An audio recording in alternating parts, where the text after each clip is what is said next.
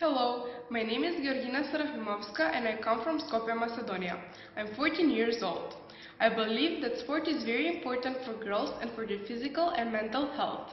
It not only helps us stay fit, active and healthy, but it also gives us other various benefits, such as sense of teamwork, goal-achieving skills, stress relief and building self-confidence. I personally have been playing has helped me get in shape, maintain my healthy weight as well as make new friends. I contributed for my school and country by achieving many awards which is the most satisfying part. I feel like sport helped me uh, grow into a healthier, happier and self-conscious person. I could never live without it. So my message to all young girls is do sport.